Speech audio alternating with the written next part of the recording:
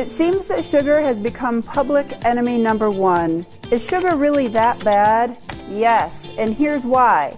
Consumption of sugar is directly related to being overweight, to type 2 diabetes, to tooth decay, and is probably also related to inflammation, disease, poor gut health, and vitamin and mineral deficiency. Did you know the average American consumes 20 teaspoons of added sugar per day, which is about 80 grams? Health professionals recommend that we limit our added sugar intake to just 6 teaspoons or 25 grams per day. Look for sneaky sugars in your sports drink, yogurt, cereal, and sauces. So, now you're going to ask, but what about fruit? Yes, fruit contains sugar, but let's not forget about all the fiber, vitamins, and minerals that we also get with fruit.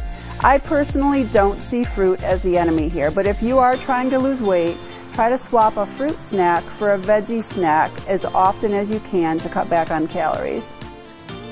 What if you're addicted to sugar? Number one, get rid of the sugary snacks and beverages. Get them out of your house, your car, your office, and your hiding spot. Stop using your coworkers and family members as an excuse. They don't need the sugar either. Number two, try sparkling water or hot tea with sliced oranges, lemons, and limes. The color and zest here are a real treat. Number three, dip some ripened fruit in unsweetened cocoa powder if you're a chocoholic. Finally, save the sweet treats for birthdays, holidays, and celebrations and keep the serving size very small, about the size of a teacup. I'd love to hear from you.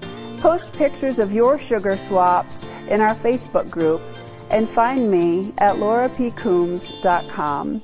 Until next time, make fitness count.